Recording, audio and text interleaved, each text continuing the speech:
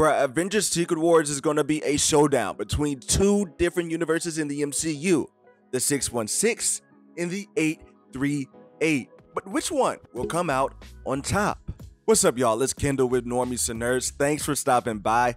Make sure to drop a like and subscribe to the channel because we're on the grind to our first 1,000 subs. Let's get it. Because we are definitely heading down a road where the universes 838 and 616 are going to battle head to head for the fate of the entire multiverse. Like, after they were introduced in Multiverse of Madness, I think that we will be getting to know a lot about the 838 by way of Disney Plus animated shows and possibly even a Phase 6 film. And ultimately, I believe that the 838 universe will serve as the Ultimate universe in the MCU. In Jonathan Hickman's Secret Wars run, which I'm currently reading by the way, it starts out in the Ultimate universe where you have a cabal that's headed up by villains from the 616 and also a Reed Richards variant known as the Maker.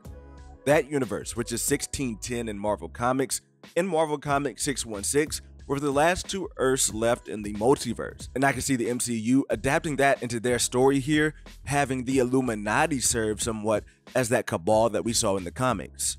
But wait, the Illuminati is dead, right?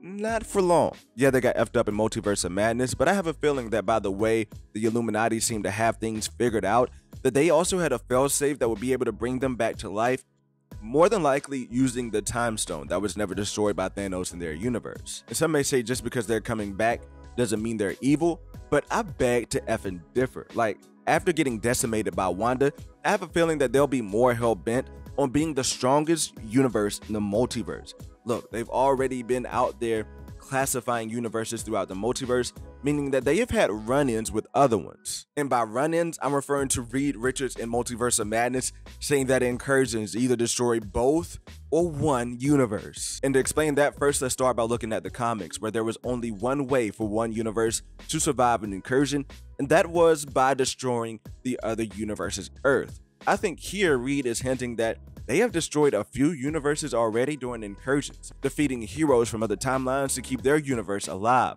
And that could explain why they were so damn confident before Wanda came and clapped them up real easy. And now, like, if we're going to be getting that showdown between 838 and 616, don't you think we need to build up the 838 just a little bit? The 838 seems to have a lot of fan service characters, right? Like from Patrick Stewart's Professor X to John K's Reed Richards.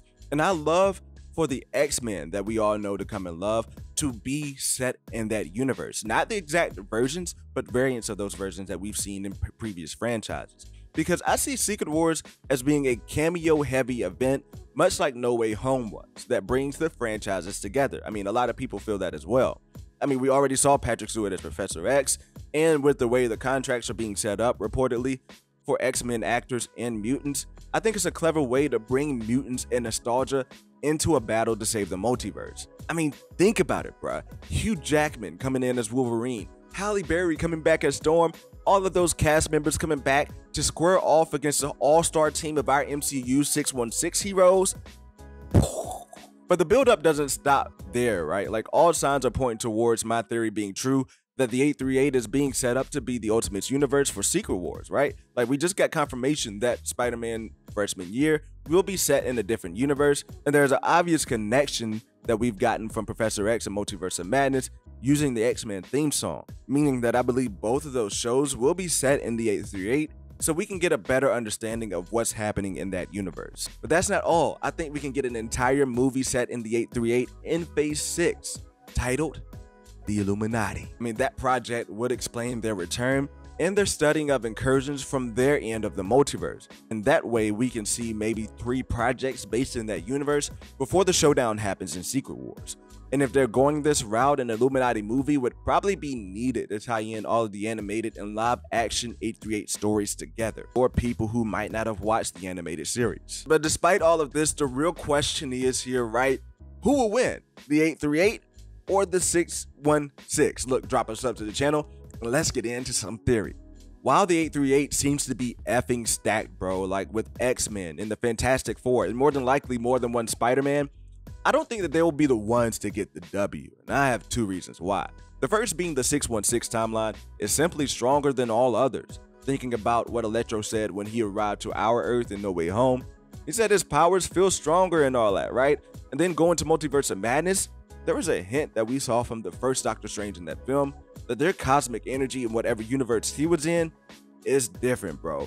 And I'm just basing that on the fact that you can see the color of his magic was white, while Strange's magic is orange. Like all sorcerers pull cosmic energy from their universe, and we learned in No Way Home that the Sanctum Sanctorums are built on energy currents that are flowing throughout the universe. That being said, with the 616 being the main timeline and the other universes being branches, a majority of that energy should still be flowing through the main timeline more than others, which is likely giving all beings in the 616 universe more cosmic energy than what we see from their variants in other universes. And my second reason why the 616 would get the dub is because I believe that they're going to try to pull heroes from other universes to stack up the team and fight the 838. Here's what I mean by this. Like the 838 has all of the heroes from past franchises like the X-Men, Fantastic Four, and so on, as well as multiversal versions of our own Avengers.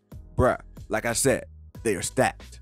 At the same time, they've also been destroying universes to save themselves from dying in incursions. While their focus is saving their 838 timeline, I can see the 616 being focused on figuring out a way to save the entire multiverse. And in doing so, when it's time to battle, I can see the 616 timing up with some of our favorite OG Avengers like RDJ's Tony Stark and the young Steve Rogers from different universes, creating an all-star, all-time MCU team to go up against a all-time Marvel franchise movie team as well. And that, my folks, is the multiversal war that He Who Remains was talking about in Loki.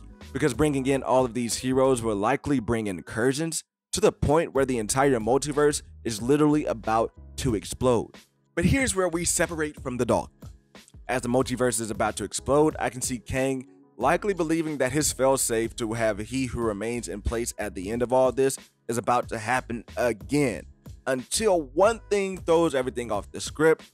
That is, you guessed it, 838 Doctor Doom stepping in and effing up his plans and takes control of constructing a new timeline with the help of Wanda Maximoff's Scarlet Witch. And with Wanda at the helm with Doctor Doom of constructing this new timeline, I can see her doing things that erase the work of Kang that would allow mutants to be in our universe, that would allow the Fantastic Four to be in our universe. All that type of stuff that Kang has tried to prevent from happening, the Scarlet Witch will allow to happen. And I think that would be a dope way to bring the multiversal saga to a close, as all of this stuff will be condensed into one universe once again. But let me know what you think in the comment section below about all of this, everything I had to say. Who do you think will win in a one on one showdown, the 838 or 616? I want to know your thoughts, and I will see you in the next video.